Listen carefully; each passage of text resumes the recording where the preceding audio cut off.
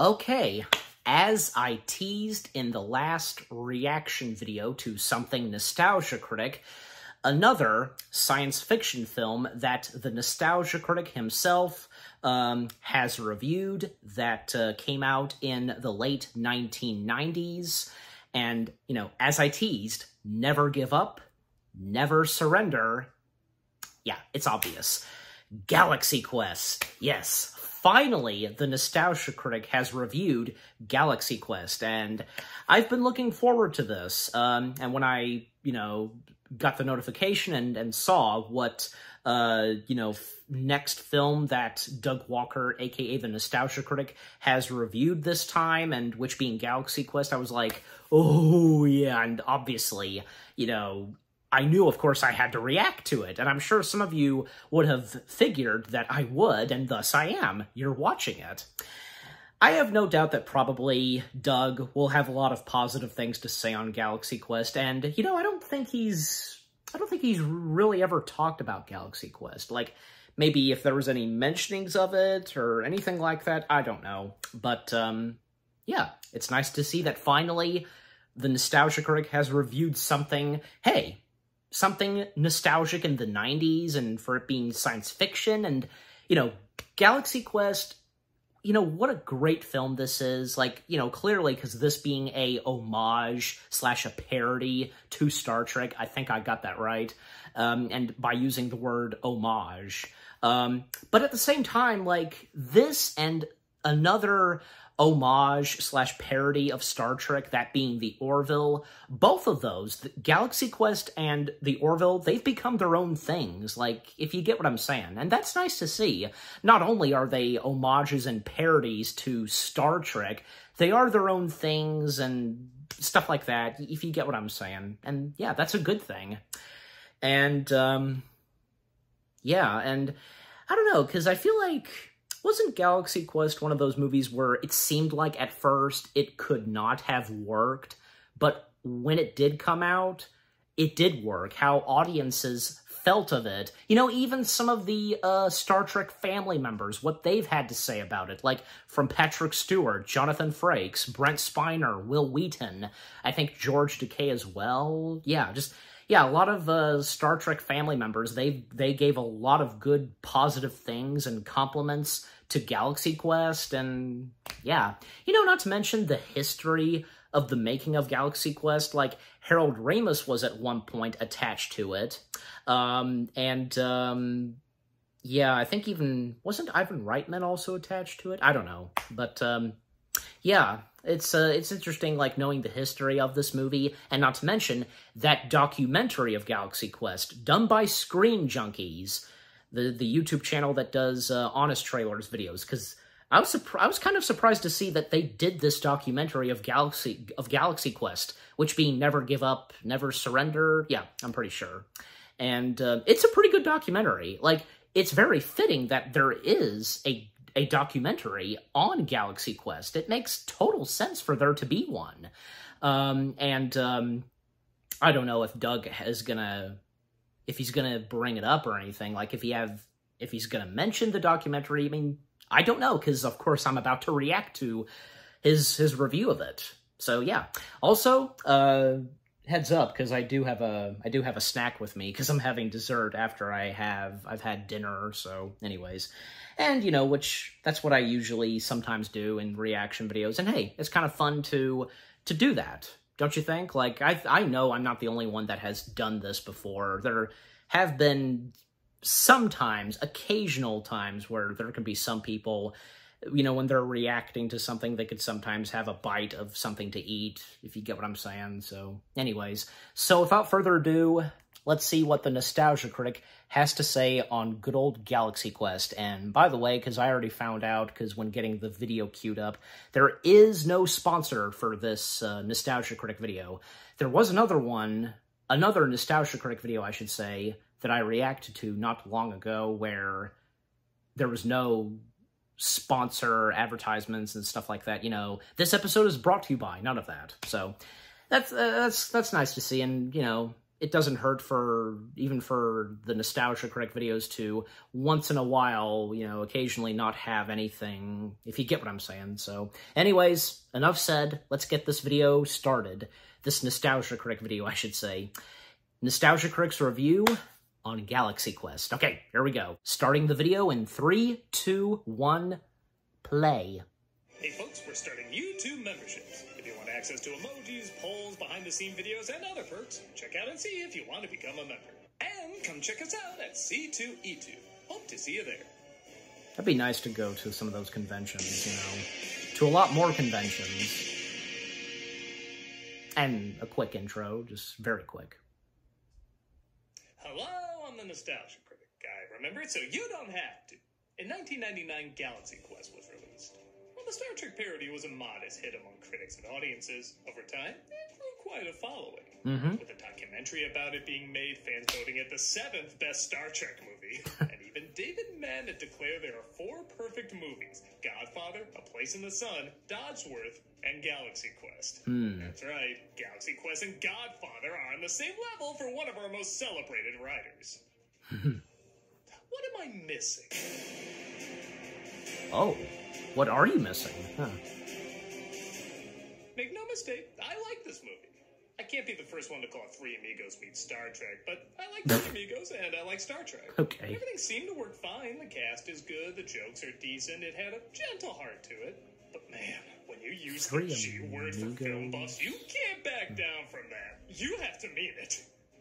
That said, I think it's clear the idea is these films are perfect for what they are.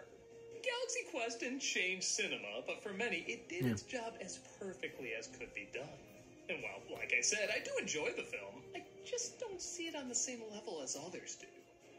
This isn't me trying to look down on anyone scoffing. Oh, why can't you have the genius mind of someone who thought Morbius was okay? I legit want to understand why this film has such a strong connection with people and why they hold it so close to their hearts, even all these years later. To be fair, I haven't seen the film since it came out, so maybe I'll understand now that time has passed why it's so unique. So, 25 years later, let's look at why some diehard fans never gave up and never surrendered. This is an old relic talking about an old relic about old relics. This is Galaxy Quest. The film opens with an excerpt from the corny TV show Galaxy Quest. As mentioned before, clearly a parody of the original Star Trek and Next Generation series. I do love Weaver's wardrobe combining both the miniskirts of the original and Troi's out of uniform attire for no particular reason. I'd appreciate it if you wore a standard uniform when you're on duty. Oh my god! Hmm. Well, there you are. Yeah. As the credits roll, we see this as a clip at a convention where the actors from the show are becoming tired of being known only for this series, including Gwen, played by Sigourney Weaver, and Alexander, played by Alan Rickman. The only one who seems to enjoy it is Jason, played by Tim Allen, who respects the attention he gets, but not the people giving it, as he constantly shows up late. They really do love him. Yeah, almost as much as he loves himself. Well, I think this is way too harsh and obvious commentary on Walter Koenig. We all know about his ego, but the man's a legend. oh my god, the voice of Alvin from Alvin and the Chipmunks. In the Quasar dilemma, More than just you said that. too, If that B for gamma override, the Come various on. sequence clearly indicate that that B is independent of the guidance matrix. As someone who's not been on the other side of that table, I can vouch we remember every single solitary detail about what we filmed. And if we say we don't, it's because we personally hate you. He's approached by what he thinks are more fans, led by Mathesar, played by Enrico Colantoni, who claim they're Thermians from another galaxy who needs the team's help. We are Thermians from the Klaatu Nebula. We Need your help. and you know, that voice is either gonna do it for you or it's not. when I first saw it, it got on my nerves, but looking back, it does sound like an alien translator trying to emulate our way of speaking with a unique accent we've never heard before. It's an accent that's hard to describe, too. The best description I've heard is melodic yet monotone. Please, Commander, you are Our last hope. it's like if Stephen Hawking's voice box was trying to sing. It kind of grew on me. Jason constantly Sing. tries to hit on Gwen, who was an old fling, but now wants nothing to do with it. And I never put together that while he's constantly surrounded by her, he can never actually get the real thing. It's a subtle touch.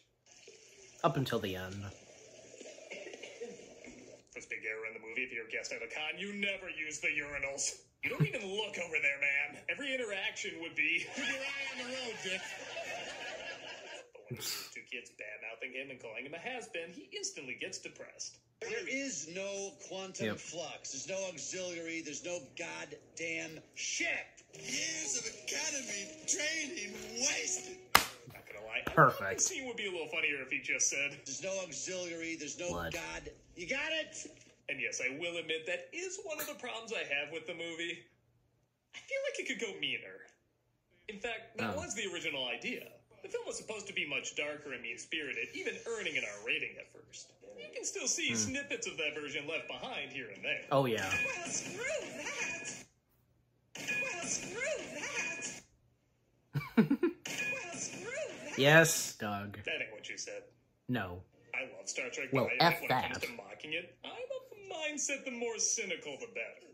Rip it apart, show why this utopian future doesn't make sense, point out the ethical inconsistencies, make fun of how often this perfect world building doesn't follow its own rules. And doing so doesn't mean you hate Star Trek, quite the opposite. It means it struck a chord with you that you hold dear and love to talk about. And you love it even when you hate it. I personally find all that more interesting. But that's not what this film is trying to be, and I should accept that. Hmm. This movie lightly mocks the Star Trek world and the people who made it. In fact, if you've never heard of Star Trek, you could watch this film and still enjoy it. It's very clever that way. But most audiences know what they're doing. Hell, it was voted the seventh best Star Trek movie. And I think it's trying to be a loving homage that keeps the same optimism and hope as the series. While also I use the word too, homage. jab at the fans and actors. I just think comedy's funnier when you jab a little harder. But I should judge it on what it is and not what I want it to be. With that said, the film does want to balance it with a fair amount of drama too. And all the actors very smartly play it straight. Despite him being a little sleazy, you do sympathize with Jason and his obsession over the glory days of his career. He gets so depressed he drinks his Glen Glenlivet with ice. Buddy, you don't know what you're doing! Hmm. His alien friends from before drop by and he thinks they're there to take him to another gig. Sir, I am Lank. Please let me know if you have any requirements. Weapons, documents, personnel. Dwight, you ignorant slut! Jason sleeps as they take him to the space station. He The thinks Office? it's all Yeah. a set. Again, maybe a hint of the R-rated version sneaks in here and there. Terrace is the bad guy, right? Oh, yes, sir. He's a very bad man who captured our females for his hmm. own demented purposes. Hey, come on, this is perverted Star Trek, not perverted Star Wars. he fires on their enemy, thinking it's all fake, but when they send him back home, that's when he realizes he's in the real deal. Yep. And he really wakes up because, you know. This is also where you might realize while it is a parody of Star Trek, it's not bit for bit. Yeah. This way of transporting people has a beaming feel, but it is uniquely its own. Yeah. Even some of the tropes they mock are not directly from Star Trek, but feel like they could be. Systems register functional. All systems are working, Commander. Like Gwen just repeating what the computer says isn't exactly the same as Troi saying what a person is feeling, or Uhura being the interpreter, but it's in the same vein. You could also argue it's similar to taking all the technobabble and reducing it down to something simple. New source of beryllium must be secured. We need another one. Like putting too much air in a balloon. Part of the reason why people might gravitate towards this movie is that it does an okay job building a world that tips their hat to Star Trek, but still has its own rules and details. Yeah. It's inside of the Omega 13. After he bumps into a fan from earlier mixing up their communicators, Brendan. he tries to tell the team about what he experienced, along with the Thermians asking him to return. Do you really think he was talking about? She's a termite.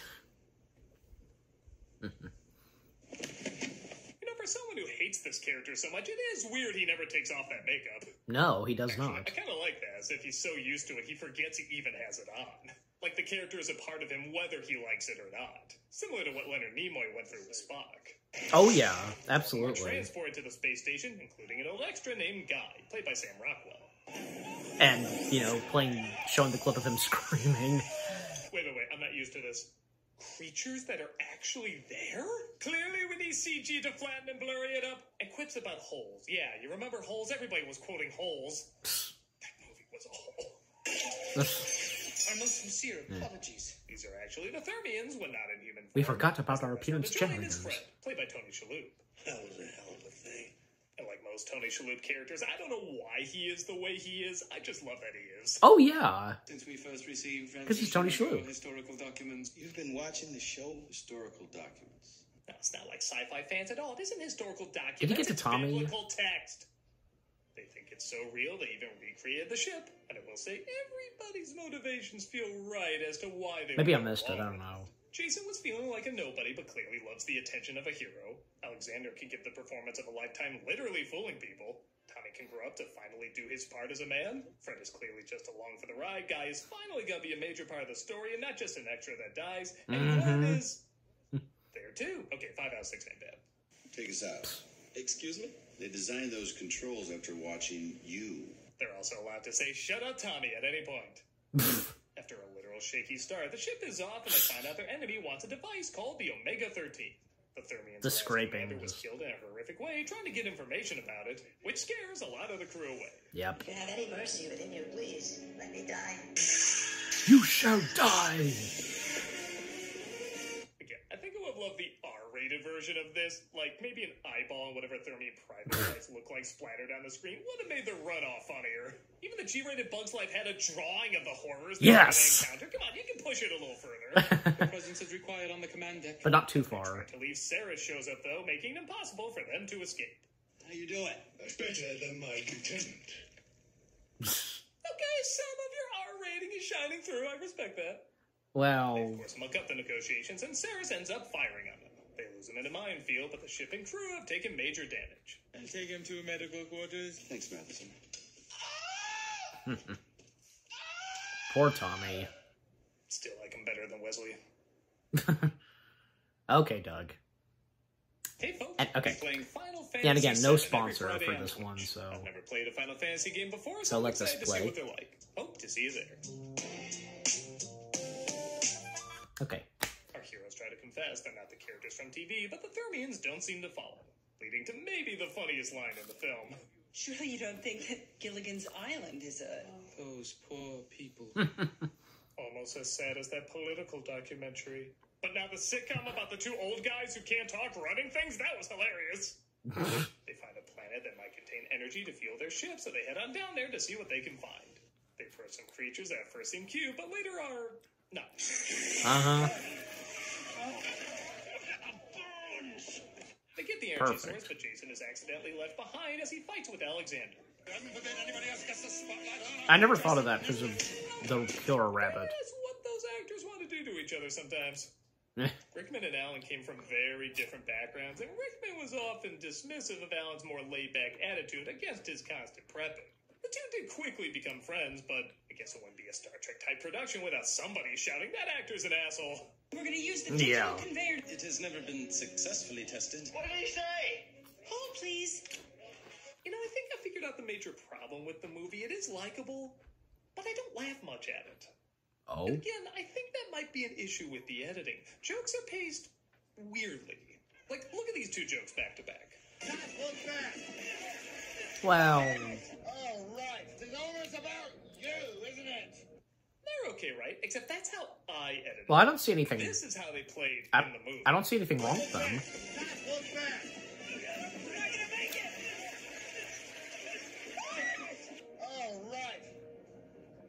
Of course, it's always about you, isn't it? Um, See what I mean? Isn't the timing on those a little off? Again, though, that's probably due to the film very quickly being slashed down to a PG. I doubt this was how it was meant to be originally. And man, when he has to battle this rock creature, I really wish he could say something better than, Oh, darn. you know, they have translators in this. Can't they translate what the R-rated version would have been? Maybe ironically, it would translate out to me. they eventually get the transporter working, but it looks like Sarris has taken over. yep. At every turn, you demonstrate the necessity for your Extermination. Yeah, and I'll just say it. Sarris is a really boring villain. Oh, come Star Trek on. villains are usually great, and even when they're I thought he was good. deep, they're still pretty entertaining. But aside from the impressive effects on this guy, he's pretty dull. I either need him to be really funny or really scary. And while he does a bunch of violent stuff, he sounds like the voice you give a bad guy when you're reading a story to your kids. Do you think I'm a fool? The commander does not know every bolt, every weld in his ship. And then the big bad wolf said, All the better to eat you with, my dear. Raw! Okay, that's And of funny. course, we need our liar reveal third act where the truth comes out and nothing funny happens and everyone acts really mopey. Though to Enrico's credit, his heartbreak is perfectly harsh. We don't have a Mm-hmm. ship. There it is. That ship is that big. Inside I've seen many rooms. Next, you'll tell me the tragedy of Alf never took place. no, really, have you seen that finale? It is dark. Yeah, it is. Be shot in the face when they stage a fight to fake out the guards.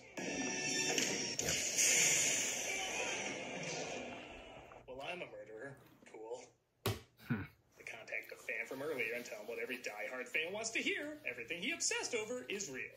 I understand completely that it's just a TV Yeah. show. It's all real. Oh my god, I knew it. I knew it. I knew it. Now I just have to convince people that Pizzagate was real and yeah, we gotta go. they get some info about the Omega 13 and discover it can rearrange matter 13 seconds in the past. Yeah, I'm sure we'll never hear from that again. Anyway, Alexander teams up with his biggest fan to free the others. And I will admit, this death really cracks me up. It cracks you up. I'm shot. What? Because of that? Just like an episode. Alexander Okay, that was funny. He hates to say from the show, and by God, he says it like he's telling his dying son he loves him for the first time. Yeah, he really means it when he tells that to him. Even what the I don't documentary know said what about that. any of that means, but it's gonna make me cry. Oh yeah. This sends him into a vengeful rage as he takes out the guards, and the crew returns to the bridge. They bring some of the magnetic mines with them and take out Sarris' ship. Oh, by the way, yeah, but Sarris sneaks aboard and kills Doug, everybody. Doug. I think they said a man ago does time travel. It's gonna do time travel. Jason, before the Black Road, Of course, only the person that pushes it remembers what happened. That's detailed Omega 13 logic we just learned about. Yes, it's basically a cartoon. A perfect cartoon. I don't know. The ship is too big to enter the atmosphere. They say their goodbyes. We need to separate or we will ship and die. on Earth. Where else? At the convention. Of course. Pointless return number two. yeah, I could have cut him returning both times and not really miss anything, but the fans seem to like it. The journey continues. And you know, maybe that's the secret. It's a Star Trek movie for fans that's not a Star Trek movie for fans. I still don't see it as a perfect film, as I feel like the jokes have good ideas, but rarely get that many laughs out of me. A lot of that is due to the awkward timing and editing that was probably a rush job due to quickly trying to make it family friendly. Hmm. But taking that out of it, which, yes, is a lot to ignore for a comedy, there is an optimistic kindness about it. That doesn't mean it's always happy and upbeat. If anything, true optimism is aware of the dangers and chooses to still be positive.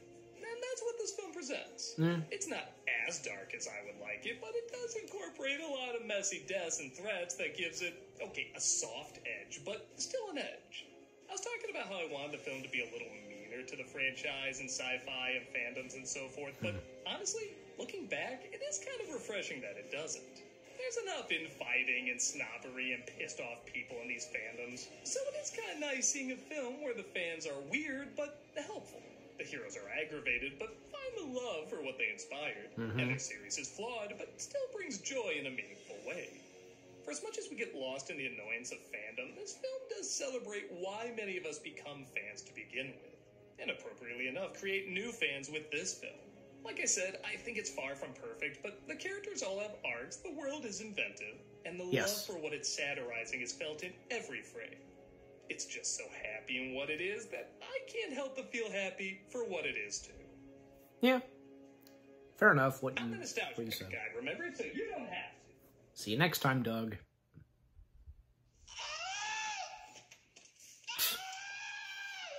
Maybe you sh- you probably should have done guy scream, charity, and all this month but we're you know, donating. that's okay. And the charity shout out as always. Okay, wow. So that was the Nostalgia Critics review of Galaxy Quest.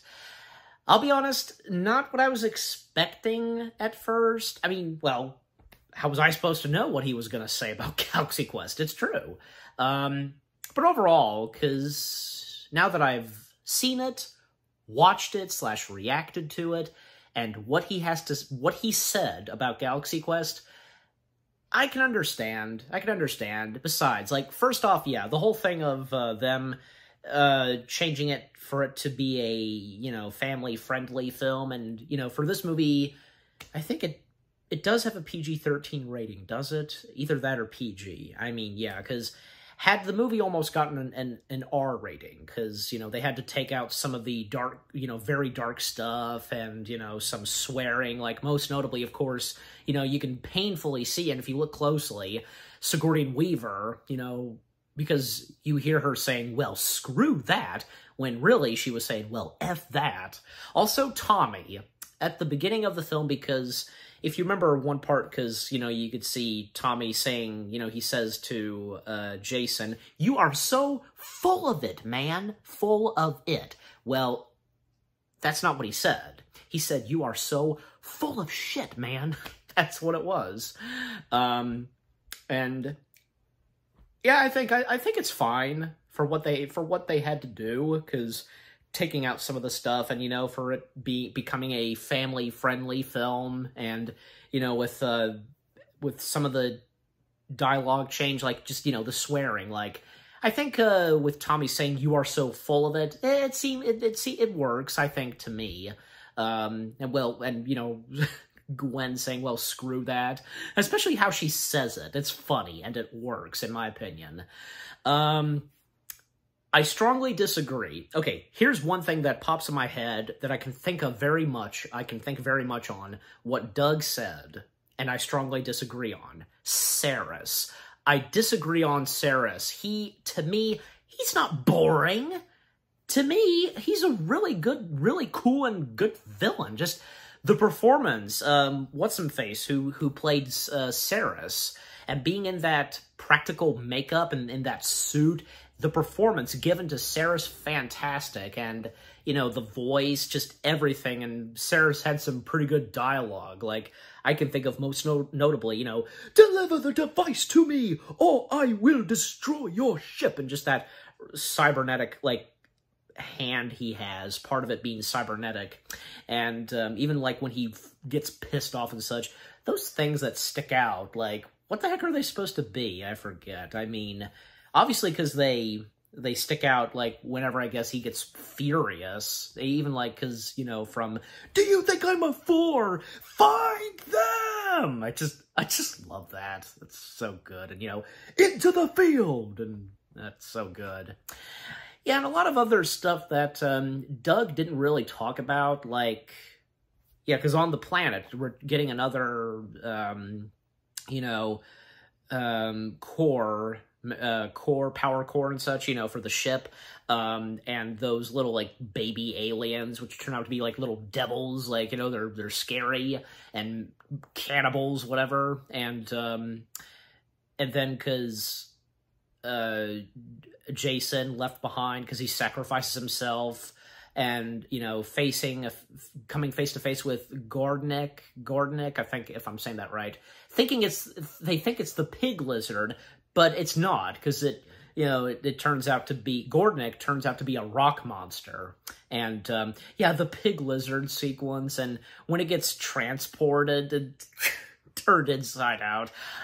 Doug yeah because Doug didn't touch upon that. That was so funny. And one of the one of the Thermians is it Tech? Am I saying the name right? You know you know but the animal is inside out and when it explodes you know and it exploded that was that was good, and um, yeah, and, all, and yeah, the whole rock monster, which um, I'm pretty sure because um, I think yeah, because the whole rock monster in Galaxy Quest, I think yeah, that is a nod to. I'm pretty sure because obviously those who worked on Galaxy Quest they would have known about this. I'm pretty sure because in Star Trek Five, The Final Frontier, um, there was supposed to be a rock monster that Captain Kirk would come face to face with when running away and escaping from uh, the god imposter, the god of Shakari. Shakari, I need to say it. I need to say it as Shakari because Shakari was uh, named after Sean Connery. By the way, in fact, Sean Connery was considered to be in Star Trek Five as Sybok, but that of course didn't happen. Um, and, um, you know, I don't think, I think it's nice that they kept that, that word in, Shakari, because it sound, sounds like a fitting name, you know, for like a planet or whatever, just, you know. Um, in this case, you know, the god of Shakari, so... Um, so again, Kirk was supposed to come face to face with a rock monster, and originally it was supposed to be, I think, 10 rock monsters. Then it was reduced to five 10 monsters, then five rock monsters because of the budget. And then they only, uh, uh, by the end, they only just had one. And the practical rock monster suit that was supposed to be the rock monster that was supposed to, to be in Star Trek 5 didn't end up being in the film at all because it looked terrible, apparently. It looked terrible. Um, I mean, if only the practical suit of, of the rock monster looked much better. I mean, golly, because I tell you, Star Trek 5, I mean, that's another story because, you know, Star Trek 5 having a messy production, it was just in a total wreck it was having bad luck from the start. Even like I'm sure Shatner and the others, they knew that this was most likely not going to turn out good, which of course it didn't. So, you know, but I'm sure there's no doubt about it. There are those, including me and my dad, that, yeah, think Star Trek 5 is okay. Not the best, but still, it could be fun to watch. So, yeah. Um, and, uh, yeah, and, I, I was, I was wondering if maybe he would or not. Uh, Nostalgia Critic mentioning, and he did, mentioning uh, the documentary a couple of times. That was nice to see.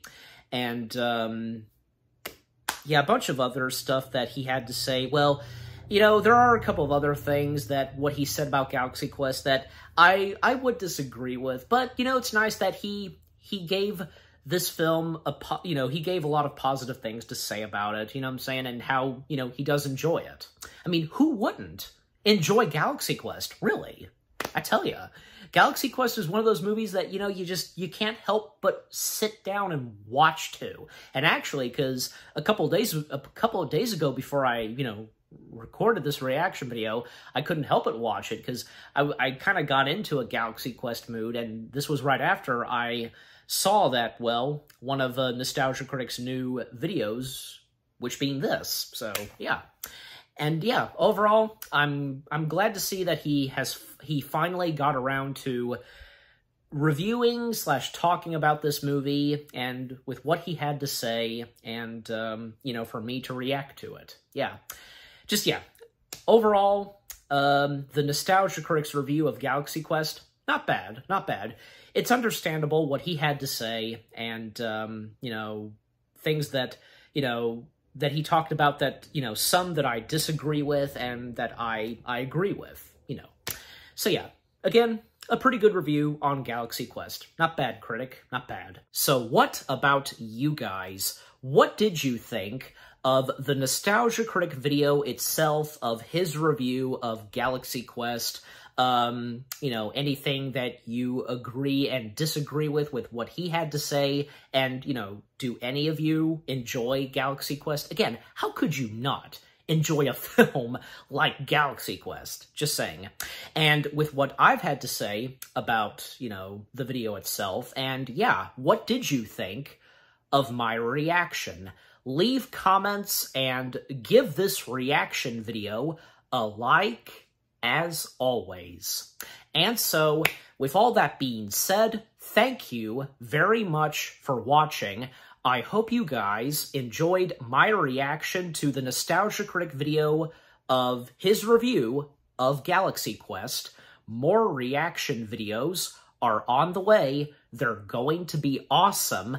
Keep looking forward, and I'll see you guys in the next video slash reaction. Take care, peace out, and never give up, never surrender.